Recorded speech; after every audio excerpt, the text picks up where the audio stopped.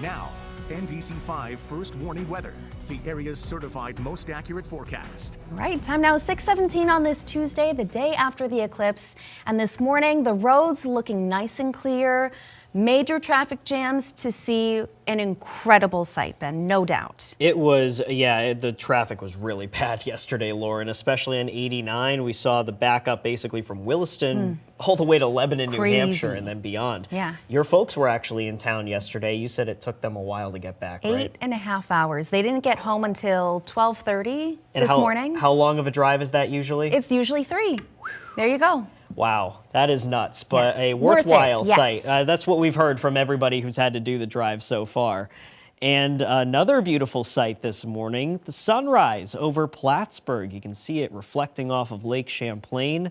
The start of a beautiful Tuesday around our region. Why not one more shot for you, North Hero, the Hero's Welcome General Store a stunner of a start there in the Champlain Islands. Plan for today has us starting with sunshine and we'll mix in a few clouds as the day goes on. Temperatures well into the 60s, a light wind out of the north. Enjoy it because the rest of the week will have clouds and showers each day, all the way through the weekend, at least part of it. The heaviest of the rain is likely on Friday, and on that day, we'll have to watch for a combination of snow melt and rising rivers for a minor flood threat. More on that in just a second. Storm Tracker, in the meantime, has us quiet locally, but all of this moisture in the southern part of the country, that's what becomes the big system that arrives on Friday and really kicks off our stretch of unsettled weather as well. So again, no problems this morning. If you're looking to hit the road, weather will not be a concern.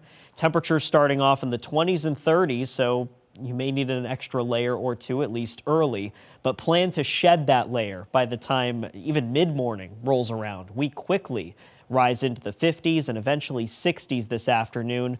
Mostly sunny, then a few clouds getting here for the evening.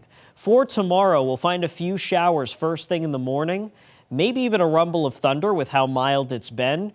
And throughout the day, we'll just have on and off showers. It's not really a pouring rain steadily coming out of the sky for Wednesday, just sort of the start of a gloomier stretch here. Thursday, meanwhile, a, a bigger band of rain coming through, especially in the morning, early afternoon. And that is the precursor to the bigger rainstorm on Friday, an area of low pressure tracking well to our west. That is a very warm storm track for us and it looks like a very windy system as well. The classic southeasterly wind direction that causes some issues in the mountains. So that's something we'll have to watch closely. And the rain continuing all the way into Saturday. So still a few days out, but we'll call it medium impact for now.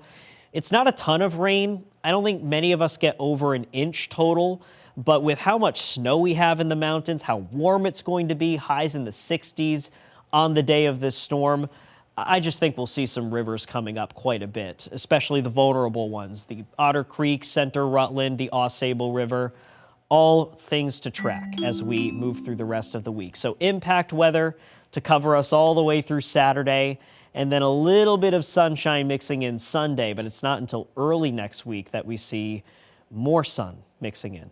Marissa?